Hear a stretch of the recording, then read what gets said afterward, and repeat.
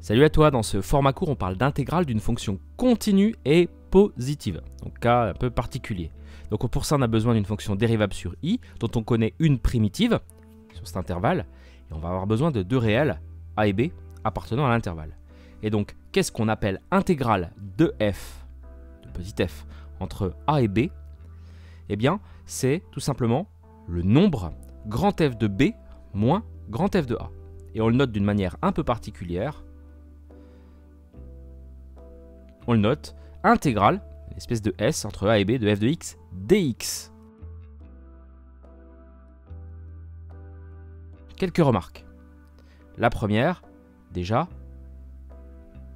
c'est que ça ne dépend pas de la primitive grand F. Si vous prenez une autre primitive grand F de x plus k, vous savez que deux primitives diffèrent d'une constante, ça ne changera rien au résultat.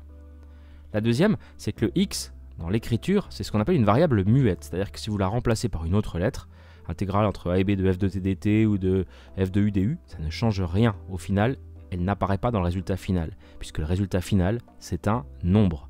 Une intégrale, c'est un nombre réel. Avant d'expliquer à quoi il correspond, quelques petits exemples. On va voir les mêmes soucis que pour la recherche de primitives. Donc là, quelques cas simples. L'intégrale entre moins 1 et 3 de x cube dx. Eh bien, on calcule la primitive de x cube, c'est x4 sur 4, et on la place entre crochets.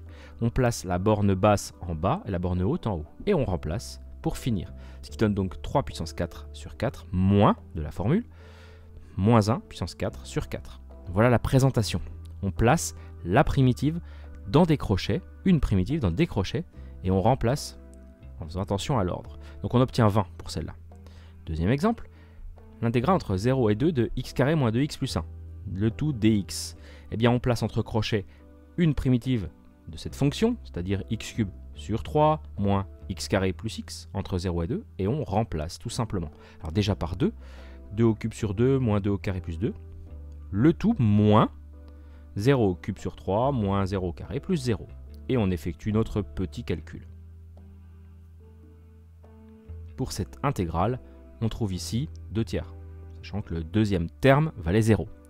Dernier exemple, l'intégrale entre 1 et 2 de 4 sur x dx. Eh bien là, on reconnaît 4 fois 1 sur x, dont une primitive est 4 ln de x, puisqu'on est sur une portion positive. Et on remplace, ça donne 4 ln de 2 moins 4 ln de 1, c'est-à-dire 4 ln de 2, qui encore une fois correspond à un nombre réel.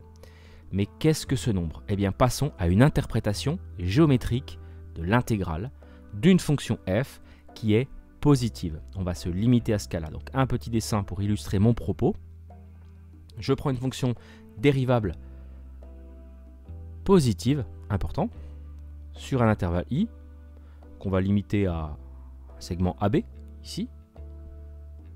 Et donc grand A, c'est-à-dire l'intégrale entre a et b de f de x dx, ça correspond à la notion d'air.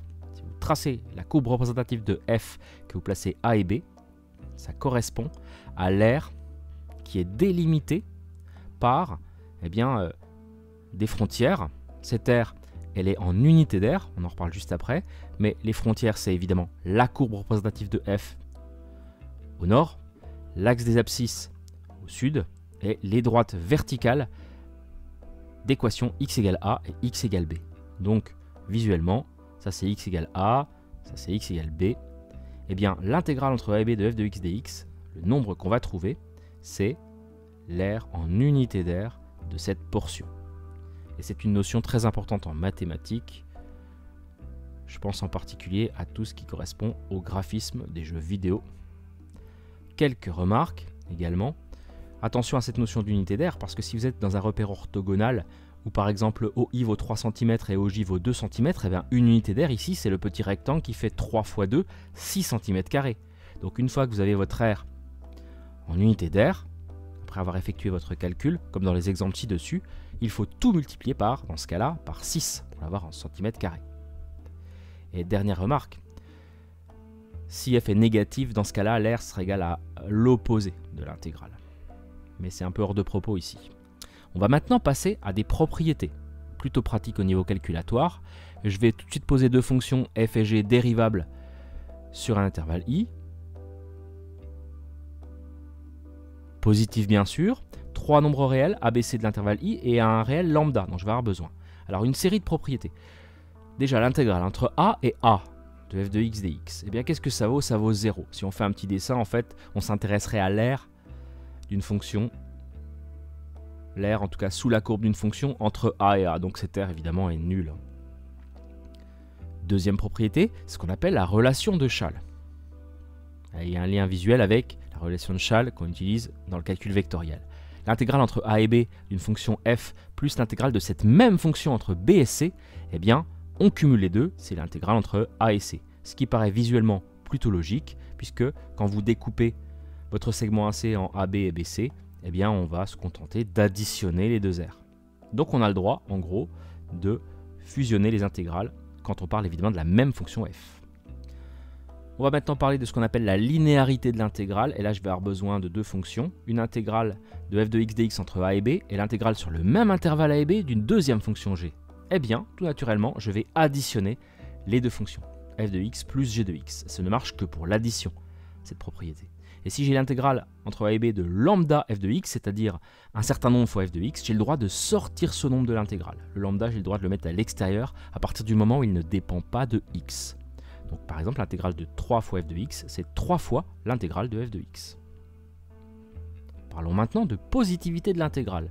Si vous avez a plus petit que b, c'est-à-dire la borne basse plus petit que la borne haute, ben, l'intégrale de f de x dx est positive. Une r, une fonction dont la courbe est au-dessus de l'axe des abscisses, évidemment un nombre positif. Une conséquence de la relation de Schall qui peut être important,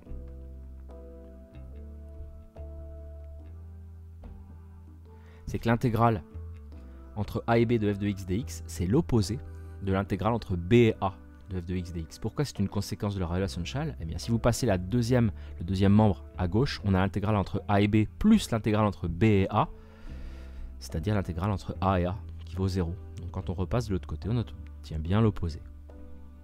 On parle maintenant, pour finir, d'inégalité. Si vous avez une fonction f plus petite qu'une fonction g, alors l'intégrale de f entre a et b sera plus petite que l'intégrale de g entre A et B, évidemment sur le même intervalle. Voilà pour ses propriétés. On va également parler d'air entre deux courbes qui seraient définies sur le même intervalle AB, deux courbes dont les fonctions sont positives, donc une fonction f par exemple et une fonction g. À quoi correspond l'air coincé entre ces deux courbes?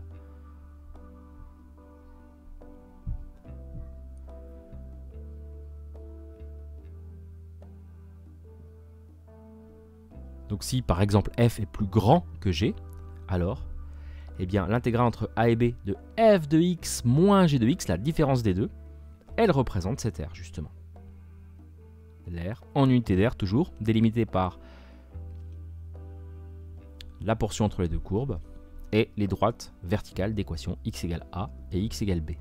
Si g était au-dessus de f, évidemment on ferait l'intégrale de g de x moins f de x. Et on finit par la notion de valeur moyenne.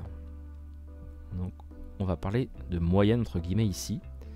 La valeur moyenne, il faut savoir que c'est un nombre qu'on va écrire mu. La valeur moyenne mu de f d'une fonction sur un intervalle AB, c'est un nombre réel qui est égal à l'intégrale entre a et b de f de x dx bien sûr, le tout multiplié par 1 sur b moins a. À quoi ça correspond? Un petit dessin un intervalle AB, de longueur ben, B-A, une fonction de la courbe représentative est CF, l'air, vous le savez, cette portion-là, c'est l'intégrale, et eh bien mu, en fait, ça va correspondre à une espèce de niveau moyen qui permet de compenser les airs qu'on a perdus dans l'espace manquant. Donc en fait, on va s'intéresser à l'air d'un rectangle. Bah oui, c'est souvent plus facile de s'intéresser à l'air d'un rectangle qu'une aire d'une portion courbe. Donc on s'intéresse à l'air du rectangle de longueur B-A et de hauteur mu et on a une égalité.